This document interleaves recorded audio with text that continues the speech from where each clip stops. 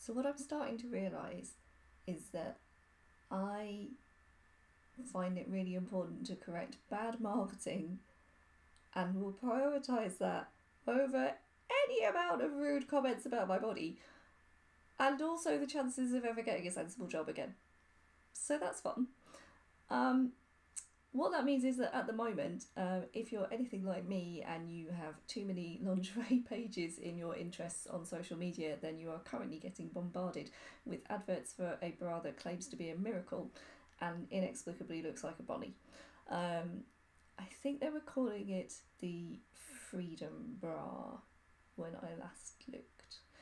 I was a bit suspicious because this to me looks like yet another product that may or may not be an okay product but has very, very outrageous marketing claims, which is a bit of a new thing if you're British because here we have a thing called the Advertising Standards Authority and they tend to deal with that kind of stuff, but apparently that's not a global thing. So crazy marketing claims happen all the time, and uh, especially in bras. This time, they're not claiming that it cures cancer or prevents cancer, thank God. Which, by the way, if you've ever been scared about that, bras are fine, it's not a problem. Um, but they are claiming that bra design hasn't changed in 100 years. It has. Please go and look at the Underpinnings Museum. Um, they are claiming that conventional bars are bad for you because they stop your lymphatic drainage and they interfere with your circulatory system. This is absolute nonsense. Please ignore it. Anybody that tells you this is wrong. Uh, they then make a lot of medical claims um, about like wearing a bra will make you droop. Uh. Have no idea. And also, it just doesn't matter. Um, and then they have a whole load of like doctors' names and alleged surveys and studies and all this kind of stuff. Now, I went away and I googled all of those, and literally none of them exist. So that's fine. They also said they were a successful Kickstarter crowdfunding campaign. There's no evidence of that either. Um, they also have lots and lots of video clips, which to me all look a bit suspiciously not shot in the same circumstances and not in the same style. So I had a quick check around, and yeah, some of them are clearly being just stolen from other people's content on the internet. So, in general, I was not super certain that this was a really great product, and it certainly isn't going to do what it claims. But I was intrigued enough to go and buy one. Now, I haven't tried any of these like stick on bra things in many years because they didn't work particularly well when I was like 20 something and wore a B cup and so I didn't really think they'd have much odds of doing anything now that I'm 40 something and definitely not a B cup anymore.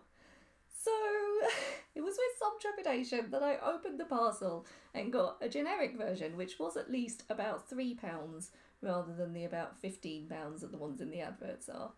And I'm pretty certain they are identical products. Like, there's no obvious reason why a website that's only been running for three months that's using lots of scammy lying advertising would have a really special unique product when they can just buy it super cheaply on AliExpress.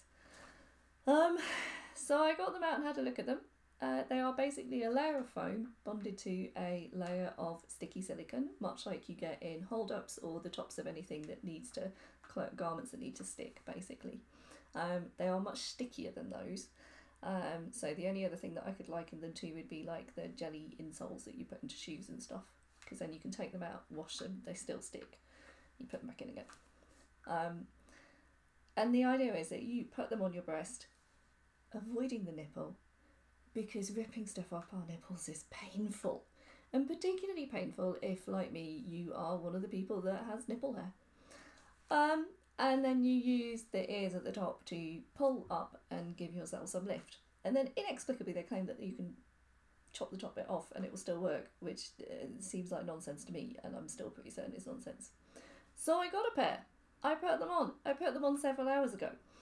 I have not done a lot in them since. I like jumped up and down briefly to see what would happen, and I have sat at the computer and I've wandered backwards and forwards a few times, and that's about it. And so far, what I've learned is putting a relatively flat thing on a relatively curvy part of your body, shockingly, doesn't work very well.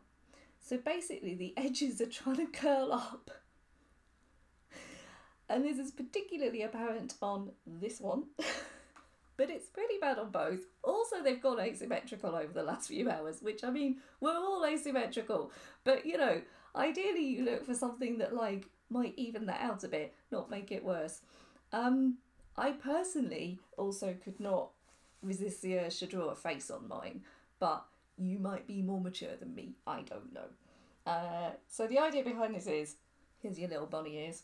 Uh, you should be able to move them up like this and give yourself more lift. And you can see that briefly that does work. But if I just breathe and I'm getting a little noise in my ear that's just like and it's slowly sliding down again. And that's basically what they do. That said, they do not slide down as far as I would be naturally. So basically, usually my breasts these days at my age sit against my rib cage, whereas with these they are slightly away from it, which is nice. Um, and they do conceal my nipples, which is a bonus on some occasions where you don't want to be pointing the direction. um, but that's about it. That's all they do. Um, they also are not going to work well for me with plunging tops and stuff because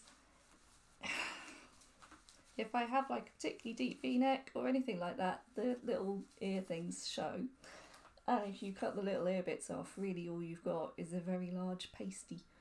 And I mean, I've got loads of pasties, so that's fine. I don't really need any more. Um, so that's about it really. Don't believe the marketing campaigns. I am going to try and peel this one off now and see exactly how painful it is.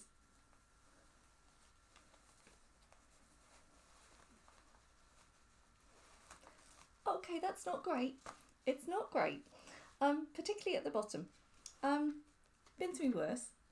And I would say if you are sensitive to silicone, which I sometimes am, then that's also not ideal. Uh, oh, wow, it's still sticky. Ah, stuff.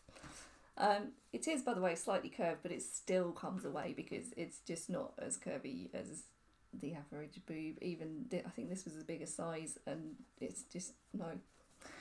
So, if you want something that gives you like a small amount of lift, or if you think that because you're younger than me or you have a different body shape or anything like that, these might work, then I totally recommend that you buy them from somewhere cheaper than the people making the scammy advertising campaigns. I absolutely recommend that you do not believe anybody who starts their advertising campaign with bra design hasn't changed for 100 years or any kind of health claim. You can't back them up. The research just isn't there. Um, and if you would like a more conventional bra or a retro bra or an underwired bra or even a sports bra, anything like that, then please come to kissmedeadly.co.uk and I absolutely promise not to make spurious campaigns that a sticky thing will hold up £22 worth of weight because it probably won't. Bye.